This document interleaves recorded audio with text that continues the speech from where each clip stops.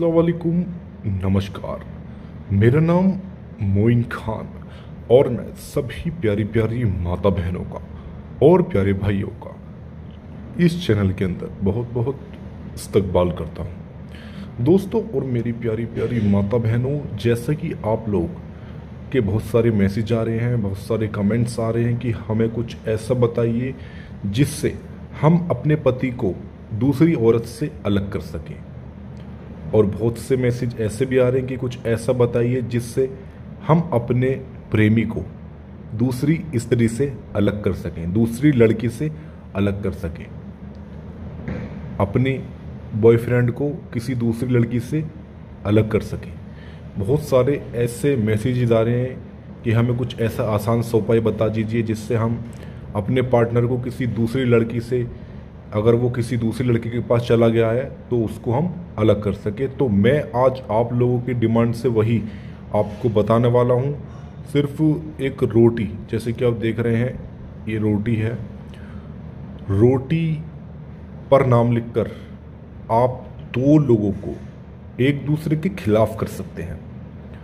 दो लोगों को हमेशा के लिए अलग कर सकते हैं। जैसे ही आप इस काम को करोगे तो एक स्टार्टिंग होती है, इस उपाय की स्टार्टिंग होती है। दो लोगों के मन के अंदर एक दूसरे से खिलाफ होने से हो जाएँगे। खिलाफ होकर के एक दूसरे के मन के अंदर खिलाफ, खिलाफत बढ़ती रहेगी। एक दूसरे से अलग हो जाएँगे।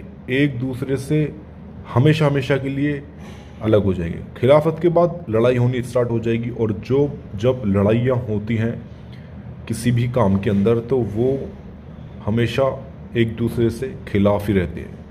और जब वो एक दूसरे से खिलाफ हो जाएँगे तो हमेशा हमेशा के लिए एक दूसरे के पास रहना पसंद नहीं करेंगे और वो हमेशा के लिए एक दूसरे से अलग हो जाएँगे। तो दोस्तों, सभी दर्शकों से रिक्वेस्ट जिसने हमारे चैनल को सब्सक्राइब नहीं किया है, वो सब्सक्राइब करें वीडियो को लाइक करें शेयर करें और आज काफ़ी तादाद में कमेंट्स थे कि हमें कुछ ऐसा बताइए तो ही मैं आपकी डिमांड से बताने वाला हूँ। रोटी पर नाम लिखकर मनुच्चाटन कैसे किया जाता है? जी हाँ। सिर्फ़ रोटी पर नाम लिखकर दो लोगों को हमेशा के लिए एक दूसरे से अलग कैसे किया जाता है? तो ध्यान से आपको देखना है कि इसको करते कैसे है। सबसे पहले तो आपको एक रोटी ले लेनी है और ये रोटी आपको ध्यान से देखना है, ये रोटी आपको पकी हुई, सिकी हुई रोटी आपको लेनी है। अब आपको करना क्या है? आपको जिसको अलग करना है, जैसे कि ममता नाम है जो आपको ममता और आपका प्रेमी एक दूसरे से एक हो गए और आप नहीं चाहते कि वो एक दूसरे से बात माने, एक दूसरे के पास चले या आपका पति हो। जिसको भी आप दो लोगों को अलग करना चाहते हो, वो इस उपाय को आप कर सकते हो।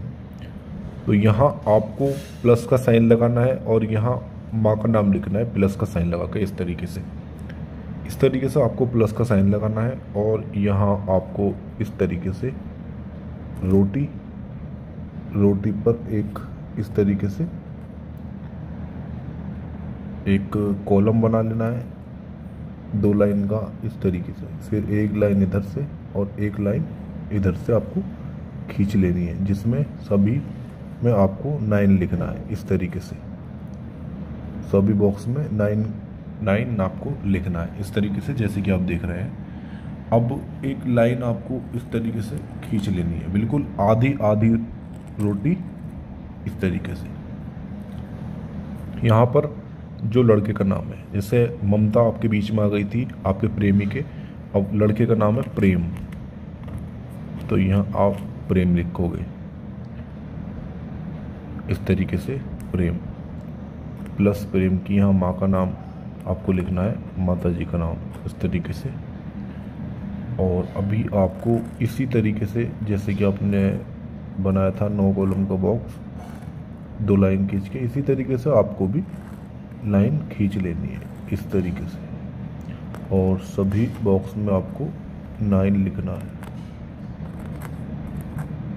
इस तरीके से नाइन लिखना है। बस, अब आपको, जब आप इस तरीके से नाइन लिख दोगे तो आपको यहाँ से इसको बिल्कुल यहाँ से बिल्कुल अलग कर देना है, इस तरीके से। जो लाइन जा रही है, इस लाइन को बिल्कुल अलग कर देना है। जैसे कि आप देख रहे हैं कि मैंने इन दोनों को एक दूसरे से, जैसे नाम जो लिखा था, आधी रोटी इधर कर दी और आधी इधर कर दी। अब आपको करना क्या है? ध्यान से सुनना। जब आप इन दोनों को अलग कर दोगे एक दूसरे से, क्योंकि हमें ममता और प्रेम को एक दूसरे से अलग करना है, हमेशा के लिए एक दूसरे के खिलाफ करना है, ताकि एक दूसरे से बिल्कुल हमेशा के लिए अलग हो जाए। अब आपको इस रोटी को, जैसे आप देख रहे हो, इस रोटी को आपको, इस पर घी लगाना है आपको। घी लगा के किसी भी काले कुत्ते को आपको इस रोटी को खिला देना है। बस आपको इतना करना है। वो इंसान, वो व्यक्ति, जिन दोनों का आप यहाँ पर नाम लिखोगे, वो हमेशा के लिए एक दूसरे से अलग हो जाएँगे। एक दूसरे से लड़ने लगेंगे, लड़ने के बाद अलग हो जाएँगे, एक दूसरे के खिलाफ हो जाएँगे, एक दूसरे की शक्ल भी देखना पसंद नहीं करेंगे और हमेशा के लिए एक दूसरे से दूर हो जाएँगे। तो चलिए, आप, हम आपसे विदा लेते हैं, इस उपाय को करिए और इसमें सफलता हासिल करिए। और दोस्तों, यदि आपको, हम आपकी खिदमत में मदद के लिए हाजिर हैं, यदि आपको कुछ समझ नहीं आया हो या आपको कुछ पूछना हो तो हमारा मकसद केवल यही होता है कि आपके हर मकसद से मदद की जाए। तो आपके दिए हुए नंबर पे इसकी गुरुजी से जानकारी भी प्राप्त कर सकते हो। इसी के साथ हम आपसे विदा लेते हैं। मुलाकात होगी अगली नई वीडियो के साथ।